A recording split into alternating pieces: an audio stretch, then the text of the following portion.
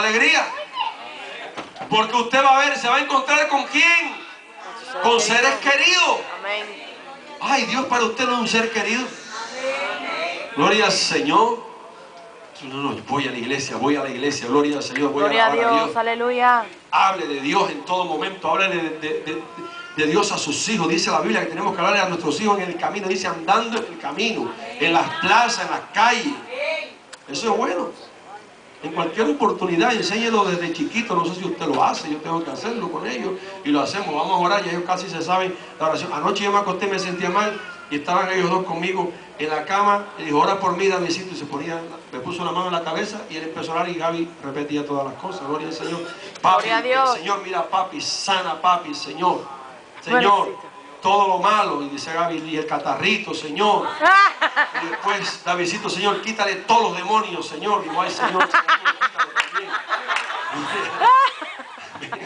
Pero estaban orando, gloria, Gloria a a Dios. Dios. Amén.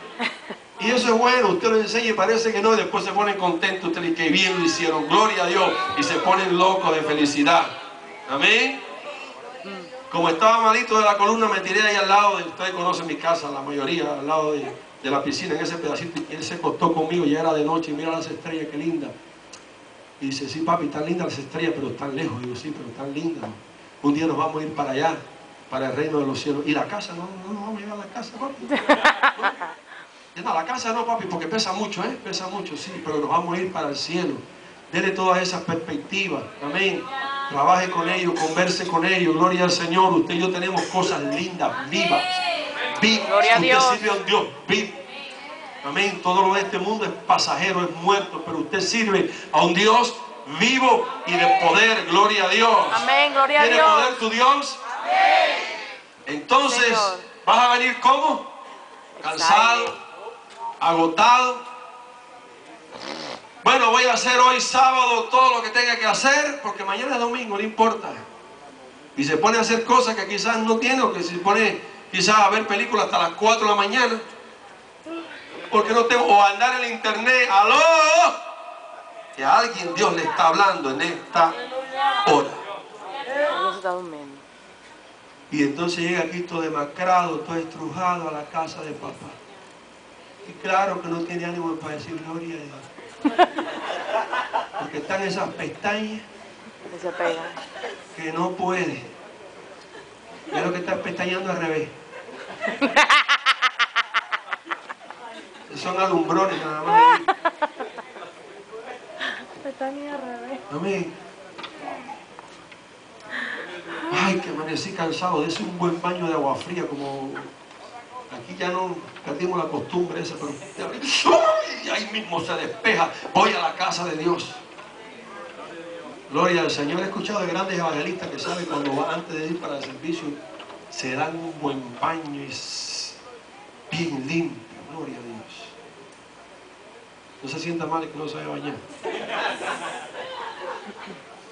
Pero así usted lo hace cuando va a visitar. ¿sí? Y si es cuando iba a visitar a la novia. ¿Cómo era eso? No su nombre. Jorge, ¿cómo era eso? Extremadamente limpio, el perfumito. Ese perfume no, no faltaba. A mí me Se encanta mucho perfume, se me ha acabado. ¿Eh?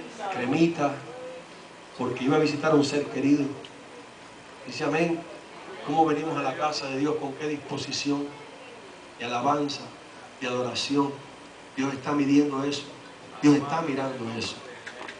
Dios está mirando, no importa, el culto empieza. Pero siento que Dios está haciendo algo poderoso en esta mañana porque Él quiere mandar su bendición. Y cuando Dios quiere mandar su bendición, Él ajusta todas las cosas, todo lo desajustado. Aunque parezca que es un pequeñito juego lo que hay ahí, pero hay que ajustarlo. Dispóngase en venir temprano a la casa de Dios. Allí, Señor. La hermana me decía el, el viernes, pastor, y la cojo mucho de ejemplo porque ella siempre está contenta, gloria al Señor, con sus luchas, con sus problemas. Ella tiene un hijo allá en Nueva York por el cual está orando, que está en, ciertas situaciones, pero aquí está peleando su batalla. ¿Usted cree que Dios no le va a dar respuesta? Amén, gloria a Dios. Decía, pastora, aquí estoy. Yo una de las primeras que llegué. Gloria a Dios. el viernes y así fue contenta, feliz para la casa de Dios.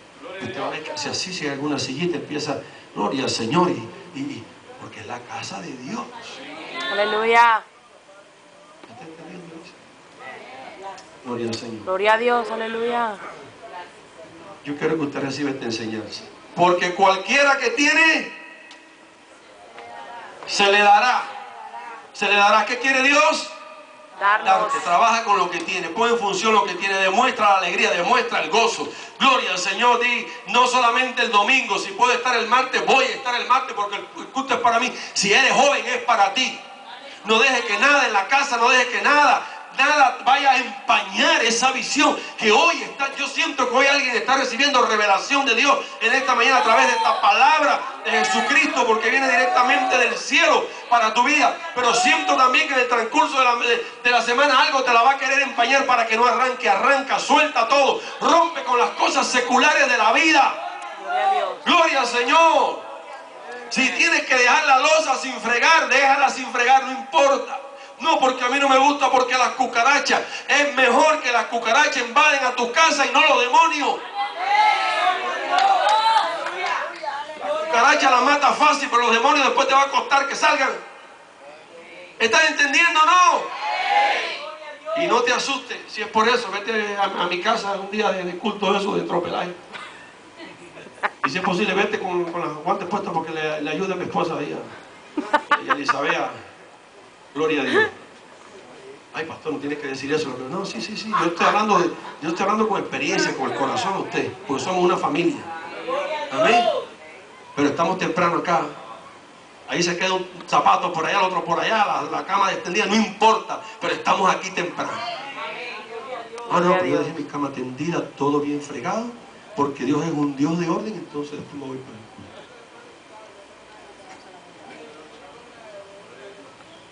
¿Cómo es? Gloria a Dios. El que tiene, se le dará y tendrá más. Pero el que no tiene,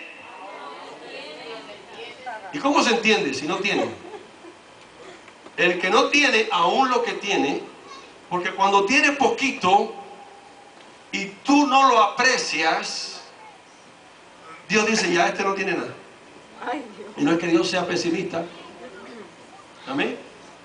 Tú no has visto algo que le falta un poquito y dices, eso está vacío ya. Cuando la aguja en tanque todavía te da para caminar unas 10 o 15 millas. pues, no, ya tengo el tanque vacío. Y es como Dios mira porque la aguja va para abajo. ¿Es cierto? Y Dios mira cuando tu aguja va para abajo. Ahora, cuando tú te paras en una posición de fe, aunque quizás no tenga nada, Dios dice, todavía tiene. Y te pasa como el, como el, como el aceite de la, de la tinaja. Amén. Todavía tiene porque este se paró en fe y dice, me niego a quedarme en cero. Me voy a levantar. Entonces Dios mira lo poco que tiene como mucho. ¿Cuántos están escuchando esta enseñanza en esta mañana? Pero cuando la aguja va hacia abajo y tú te descuidas, no, se llama ya.